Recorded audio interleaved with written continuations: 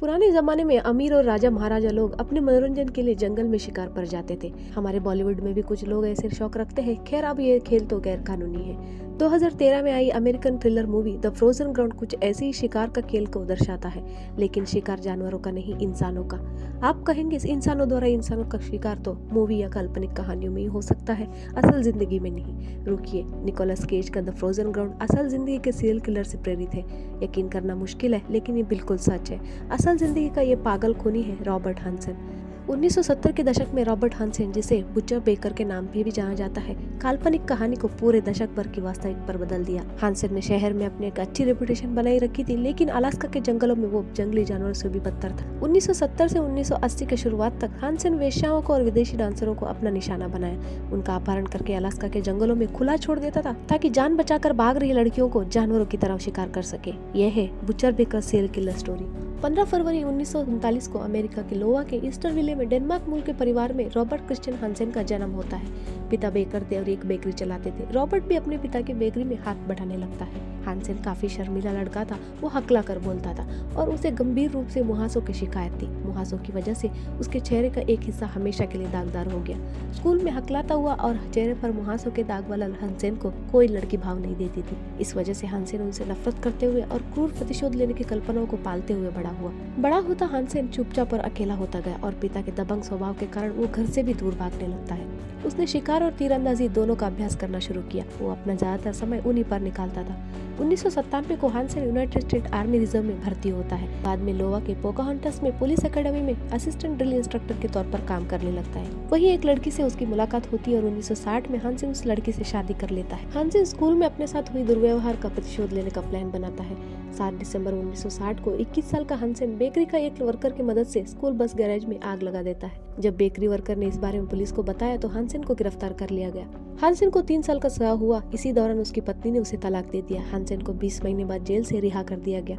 उसके बाद हानसेन छोटी मोटी चोरी के इल्ज़ाम में कुछ और बार जेल गया और एक स्थानीय महिला से उसने दूसरी शादी भी कर लिया। उन्नीस सौ सड़सठ को हंसेन अमेरिका से अलास्का का एंकरेज में आकर बसता है। एक छोटे से समुदाय में अपनी पत्नी और दो बच्चों के साथ रहने लगता है। हंसेन को एंकरेज के लोग बहुत पसंद करते थे। उसने एक छोटी बेकरी भी खोली। शहर के लोग एक हसमुख पारिवारिक बेकर के मुकोटे में छुपा हैवान को नहीं देख पाए। उन्नीस सौ बहत्तर में हंसेन को दो बार गिरफ़्तार कर लिया गया। पहले एक हाउस के साथ बलात्कार की कोशिश के लिए, दूसरी बार एक वेश्या के बलात्कार के लिए। आपसी सौदे के बाद उसे पाँच साल का सजा सुनाया गया। छह महीने बाद उसे रिहा कर दिया गया। हंसेन की हत्या की होड़ उन्नीस सौ तिहत्तर को शुरू हुआ। पूरे दस साल बाद उन्नीस सौ तिरासी को एक ट्रक ड्राइवर को सत्रह साल की सिंडी पॉल्सन नाम की एक लड़की सिक्स एवेन्यू में हाथों में हथकड़ी पहने हुए नंगे पैर भागती हुई मिलती है। अलास्का पुलिस डिपार्टमेंट में पॉल्सन अपने आप थी पुलिस को बताती है। वो बताती है कि उसे एक आदमी ने बंदक बनाकर रखा था और उस आदमी ने पॉल्सन के हाथों में हथकड़ी डालकर उसे कार में रखा था। बंदूक के नोक पर उस आदमी ने उसे घर ले गया और पॉल्सन के गले में कुत्ते का पट्टा बाँध कर रखा। उस आदमी ने पॉल्सन के साथ लगातार बलात्कार किया और उसे यातनाएँ दी उस आदमी ने जब पॉल्सन को एंकरेज से 35 मील दूर मातनस का सुचितना घाटी में अपने कैबिन ले जाने के लिए अपना प्लेन तैयार कर रहा था, तब पॉल्सन मौका देखकर भाग जाती है। अपहरणकर्ता के विवरण में रॉबर्ट हांसेन बिल्कुल फिट बैठता था। पॉल्सन ने उसका हकलान और विमान का भी पहचान दी हांसेन से जब पूछताछ हुई तो उसने कहा कि वो पॉल्सन से मिला था, लेकिन दावा किया कि पॉल्सन एक वेश्या है और जबरन उसकी कार में बैठी और पैसे मांगने लगी। उसका एक दोस्त भी हांसेन की कहानी में हामी भरता है और हांसेन को छोड़ दिया जाता है। इधर अलास्का स्टेट ट्रूपर्स को यकीन था कि एक संकी सील किलर इलाके में खुला घूम रहा है, क्योंकि कई वेश्याएँ और डांसर्स गायब हो गए थे और ट्रूपर्स को लाश मिलने लगे थे। जब मातानुष्का सुसितना घाटी में दो लाशों के साथ 223 शेल केसिंग भी बरामद हुए तो हानसेन मुख्य संदिग्ध बन गया। लेकिन पुलिस को सबूत चाहिए थी। एफबीआई भी इसमें इन्वॉल्व होता है। इसमें मशहूर एफबीआई एजेंट जॉन डगलस भी शामिल थे, जिनकी क्रिमिनल प्रोफाइलिंग काफ़ी मददगार साबित हुआ।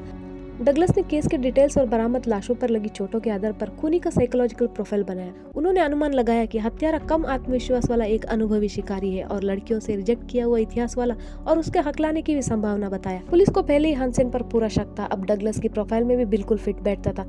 इतना ही नहीं, हंसेन के पास मैथनस का सुसितना घाटी में एक बुश प्लेन और कैबिन भी था। पुलिस ने हंसेन के विमान, कार और घरों की तलाशी ली। पुलिस को जो मिला, उसने उनको झंझोड़ कर रख दिया। रॉबर्ट हांसेन के हाथों पीड़ितों ने जो आतंक सहा था, वो पुलिस को विश्वास करने के लिए भी बहुत भयंकर था। एंकरेज में हानसेन एक सम्मानित बिज़नेस ओनर था जो अपने शिकार के स्किल के लिए जाना माना था। उसके घर के दीवारों में उसके शिकार के ट्रॉफियों के तौर पर जंगली जानवरों को सजाया गया था। उसने बो हंटिंग में भी कुछ रिकॉर्ड्स बनाए थे, लेकिन कोई नहीं जानता था कि इस शिकारी ने एक अलग तरीके की ट्रॉफी भी कलेक्ट कर रखी थी। हानसेन ज़्यादातर एंकरेज के आसपास के वेश्या और डांसर्स को अपना निशाना बनाता था। वो उनका अपहरण करके उन्हें अपने विमान में अलास्का के झाड़ियों में अपने कैबिन में लाता था। वहाँ वो उन लड़कियों का लगातार बलात्कार करता था और उन्हें यातनाएँ देता था। जंगल में नीक नदी के किनारे हानसेन लड़कियों को खुला छोड़ देता था। एक पल के लिए उन लड़कियों को उम्मीद मिलती थी कि उनका जान शायद बच सकती है। फिर जैसे ही वो अपना जान बचाने के लिए दौड़ती थी हानसेन उनका पीछा करता था। वो कोई जल्दबाजी नहीं करता था। एक चाकू और 223 कैलिबर रेंजर मिनी 14 राइफल के साथ लड़कियों का घंटों पीछा करता था। कभी कभी तो वो कई दिनों तक उनका पीछा करता था। लड़कियाँ जान बचाने के लिए घाटियों में दौड़ती थी और हानसेन जंगली जानवरों की तरह गोली मारकर उनका शिकार करता था। हानसेन के घर की तलाशी के दौरान पुलिस को एक एविएशन मैप मिला जिसमें छोटे एक्स बनाए हुए थे, जो हानसेन की पीड़ितों की हत्या और उनको दफनाई हुई जगहों को दर्शाते थे। जो शव पुलिस को मिले थे, वो मैप के कुछ एक्स से मेल खा रहे थे। कुल मिलाकर मैप में चौबीस एक्स थे।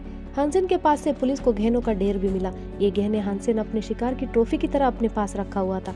उन्नीस को सबूतों के सामने हानसेन ने 12 साल की अवधि में 17 हत्या और 30 अलग औरतों के साथ बलात्कार की बात कबूला। रॉबर्ट हानसेन को 461 साल का सजा सुनाया गया। उसे अलास्का के सेवर्ड के स्प्रिंग क्रिक करेक्शन सेंटर में कैद रखा गया। 2014 को रॉबर्ट हानसेन की मृत्यु हो गई।